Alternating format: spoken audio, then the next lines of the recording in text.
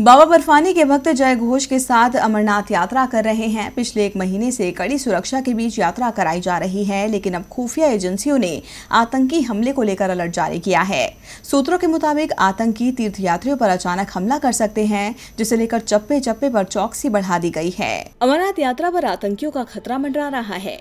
दहशतगर्द नापाक साजिश रचकर कभी भी श्रद्धालुओं को अपना निशाना बना सकते हैं। खुफिया एजेंसियों ने यात्रा पर आतंकी हमले का अलर्ट जारी किया है। कहा जा रहा है कि आतंकी तीर्थयात्रियों पर अचानक हमला कर सकते हैं।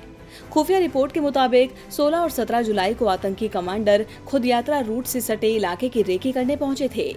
लश्कर कमांडर अबू हुरैरा खुद गुलाबबाग के इलाके में देखा गया। वहीं हिजबुल आतंकी कमांडर मुजफ्फर भट्ट भी कुलगाम के चेदर और मत्ताल हमा में सुरक्षा बलों की रेकी कर रहा है। खुफिया एजेंसियों का मानना है कि श्रद्धालुओं के साथ साथ दहशतगर्द जवानों के काफिले को भी निशाना बना सकते हैं।